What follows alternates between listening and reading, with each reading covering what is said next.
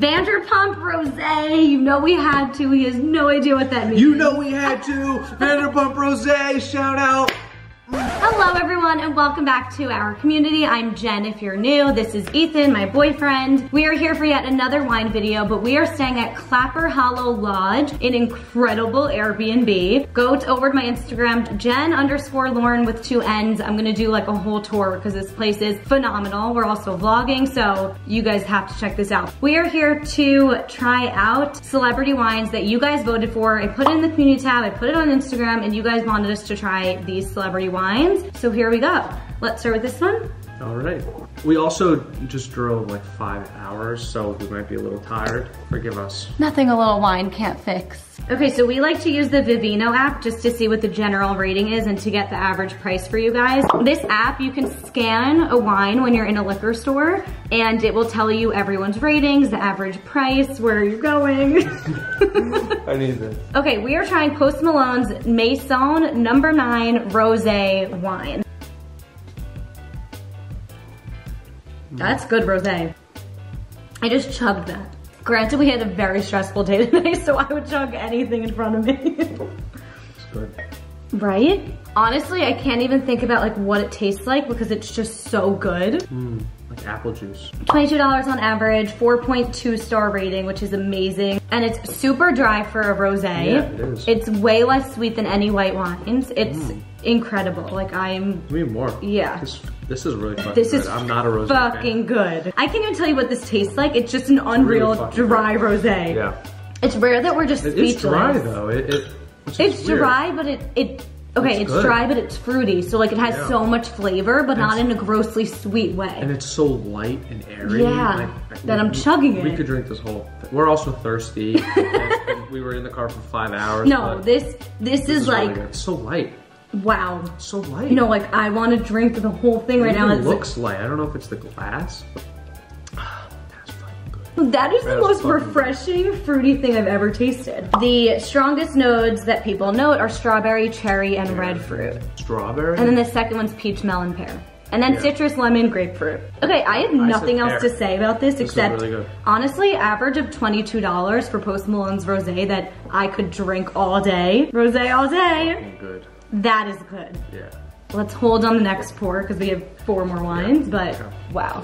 Okay, Ethan can explain this one because this is his thing. I don't even know who he is. I've, I've just always been a fan of Tim and Eric, and this is Eric Wareheim's wine, or he's somehow involved with with the vineyard. I'm not exactly sure how. It's Las Jaras. They have a bunch of different types that we've tried. This is the Glou Glou, I would say it's pronounced. We've tried it before. It's really freaking good. What I like about their wines is most of them have um, the sediment that sit at the bottom. I'm not sure if this one Yeah. does. Um, I guess we'll see. I don't know exactly what a natural wine is. A natural wine. I know it's like a new, a new like movement in wine. I would guess that this is a natural wine, just because of the flavors. It's so different than anything else. It's so, it's so like experimental. So tell them how you can get it. on their website. You can't like just go to a liquor store and get Jaras, right? I've never seen it at a liquor store. Yeah. yeah. It's really cool though, and they have different graphics on each bottle, and every time we've had it, it's just so interesting, but we'll wait to taste it. Yeah. But the average price is $28.50, it's expensive. 4.3 ratings. Let's do it. I'm excited because I just remember being like, this is the most interesting wine ever. Also, how beautiful is this background? Cheers, Let's bro. like take a minute. Yeah. This is amazing. Cheers. Okay, before you even So sip, smelly. right? It smells so good. I You said say so smelly, smelly? but I meant like So smelly. so fruity. Oh my God, it's like a plum. It's like yeah, it's like a but like a lot of plums. whoa, and it's got a little bit of a carbonation on your tongue. That is the craziest wine ever. Yeah, you don't expect that fizziness on the tip of your tongue when you drink a red wine. You know what you're saying about the carbonation? I And think it's dry in the back of the I throat. I think it's that black pepper thing. yeah, it does have.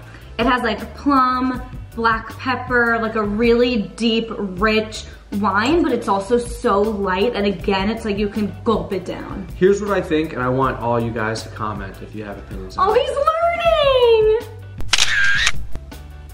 Continue. Okay. so, from what, what I understand about the fermentation process, a byproduct of fermentation is CO2, which is carbonation. I'm making kombucha right now, and it's becoming carbonated because CO2 is being produced from the fermentation. So wine is fermented. It's very similar. I think with a lot of wines or most wines, somehow it's not ideal to have carbonation in it and it's either um, removed somehow or, or it's just let out through whatever processes. But I think with natural wines, if this is a natural wine or certain types, they purposely keep it in and they bottle it that way so that when you drink it, you, you kind of, you, you get a little bit of that carbonation where you wouldn't in a normal wine.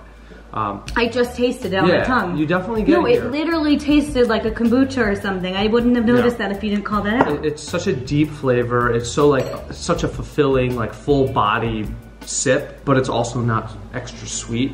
Their label art is also so fucking cute. Yeah, it's cool. It's really freaking good. It's California. Label art by Joe Bedia. On the scale of light to bold, it's very bold. It's more tannic than smooth. It's dry and it's acidic. And this makes sense. The two categories that most people say it tastes like is cranberry, cherry, raspberry, and then plum, blackberry jam. And then the last one is really interesting. I've never seen this category on Vivino. You're not even gonna fucking guess it, I guarantee. Leather, earthy, balsamic. And how was- on point is that? I was gonna say cinnamon. I taste balsamic. Yeah. And People also, probably think we're fucking crazy. People who like can't taste anything in wines, they're like balsamic leather. this wine has a certain like thickness to it that That's also is similar to to a balsamic, kind of like a, a, viscosity to it. Yeah, like the Yeah. the It's so consistency is like a It- It, balsamic. almost looks like it almost looks like it could be. okay, let's finish it. Oh, you already did.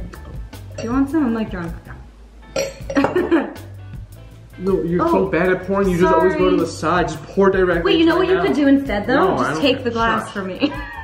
So this is one that I've actually tried before and it's, I, I'm very curious your thoughts. I've sent this to my best friend before because I said, this is not the typical white wine that we would usually go out and purchase, but my mom introduced me to it and we are obsessed. It tastes like a Starburst to me. It's Sarah Jessica Parker Sauvignon Blanc. So I think a lot of people know Sarah Jessica Parker's wines. I think hers are very similar to like a Kim Crawford in terms of price, how it's well known. Again, 4.0 rating. Average price 19.99. This might be the cheapest one. This is what I was saying why why it's similar to like a Kim Crawford because it's affordable and it's a white Sauvignon Blanc. Thank you, sir. Whoa.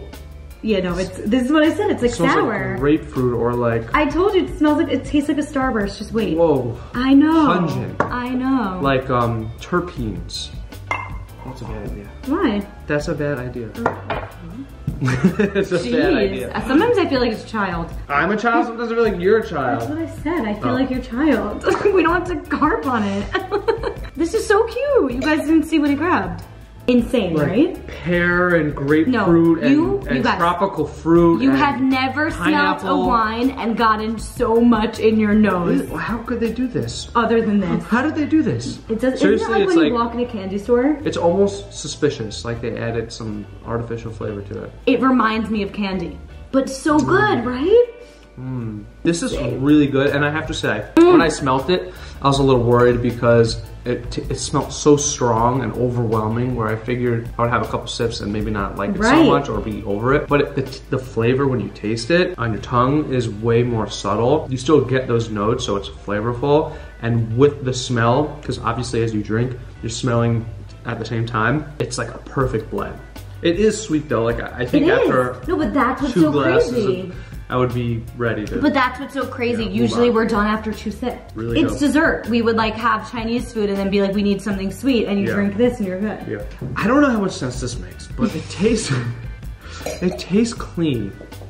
I'm just gonna leave that right there. You guys. I'm just drinking all your wine. But the fact that like this has been my favorite affordable-ish white wine, and Las Jaras has been the coolest fucking wine I've tried in the past year, and yet all I'm thinking about is having more Post Malone rosé. Okay. That must be some good fucking it rosé. is really good. I was still thinking about the Lost Jars, but I'm no, I've been really into each one we've tried so far. They're really fucking good. Snack break. It's also good to get a palate cleanser going. Mm-hmm. Mm-hmm. Let me do it. I'll pour it. Oh, okay. we all know that wasn't ending well. It smells really deep. It smells more like your classical Oh, red like a Sauvignon. It- full-bodied yeah. Cabernet, our favorite. very different than the Lost Jars. Very, very different. Lost Jars is in its a realm of its own. This is darker, deeper, more classical. Mm. But how is it so light? This one, I taste that leatheriness. It lathers your tongue. Like it coats your tongue, but yet it's not too deep and heavy. It's really light. I'm just waiting. I'm just just- waiting. I'm trying to give you guys some flavor profiles. Listen to me right now. I like this wine. I like this wine a lot. oh. Excuse me. I like this wine. I like this wine a lot. I'm gonna keep drinking this wine. I'll keep drinking this wine until I'm even more drunk. Uh-huh. This wine, and I keep drinking it. Uh-huh. Mm, yeah. Oh, that's it? What? Oh no. oh, I really like this wine. No, we got that. Oh. Um, We have nothing to say other than it's lathery on your tongue and no, no, it's stop. fucking I have more things to say. You don't. I We've do. been- you guys, I've been sitting here for three minutes. I edited half of it out. A lot of pressure. okay? Trying to give you guys something accurate. Try not to seem like a complete Accurate. ditz. Dit, ditz? Is that a word? Yes, for me. It's a blend, right? So it's hard to say one thing or the next. But it's like a deep red. It's full bodied as fuck. Fuck. And it's lathery. And it has a nice feeling on your tongue. Question. It's consistent. A lot of wines, they come in to the tip of your tongue. By the time you swallow it, it's different. You're trying to figure it out. This, from the moment it hits, it's the, it's the same animal. I kind of like that. Same animal. What fruit do you think is gonna come up here? Currant. Currant. Is it currant or currant? Black currant. Someone tell me. Currant. And, and, Mhm. Get this shit out of the way. blackberry. Guess what the first thing is? What? Blackberry. Yes! See, I needed a little extra time on this one, and you guys gave it to me. And look. We didn't. I cut it out. Blackberry, plum, black fruit, and then the second, vanilla oak chocolate, and then cherry red fruit strawberry. Reminder, guys, like wine, there's no added flavors, right? There's no, it's not like blackberries It's being added to it. It's notes. We have one last one. He has no idea who the celebrity is, but it's fine because I guess? Based on the. You don't know who she is, is what I'm saying. She's definitely a housewife. yeah! When you say I don't know who she is, then I know. I, I have a sense. Killed it! I don't know any of them. Okay, so this one, a few of you guys actually recommended or voted for that we tried out, and I've tried it one time with my mom and we loved it. It's Vanderpump Rosé. You know we had to. He has no idea what that means. You know we had to. Vanderpump Rose, shout out. Mm. It was a long day. I drove the whole entire time. She Yeah, he was tired at the beginning. day. We need to loosen him up. No, you know what it is? I, I played hockey Thursday night, I played hockey Saturday night. Most of you guys. Think I'm losing my hair. I swear to God. Oh no, I'm losing it. You guys give this thing a thumbs up if he's losing his hair. I am, I am. we have Vanderpump Rosé to finish it off. 2020 product of France. Surprisingly, this has the lowest ratings because I've had it and I know I love it. 3.7 rating, still amazing. Average price is $19.99. So this and the Sarah Jessica Parker are the most affordable. Cheers. Cheers. How dare you not choose me? Cheers. This smells like a wine that I'm not gonna love. It just smells like a lot. It smells Are you judging off of who made it? Not at all. Okay. It, it smells like a headache. No, but this smells like, mm, like, in my head. You know what I mean? All right, let's try it. I guarantee you, you're gonna find it too sweet. Watch. Tastes like strawberry fields. It's flavorful. It's tasty. You know what? It does taste like a strawberry shortcake. We have gotten lucky that every single one of these is pretty dry. Sarah Jessica Parker and this one is, is the sweetest. dry. This is not dry. No. But I remember trying it and thinking it was. But I think recently I've tried some dry rosés and now I'm like, No, oh. it's almost a little syrupy.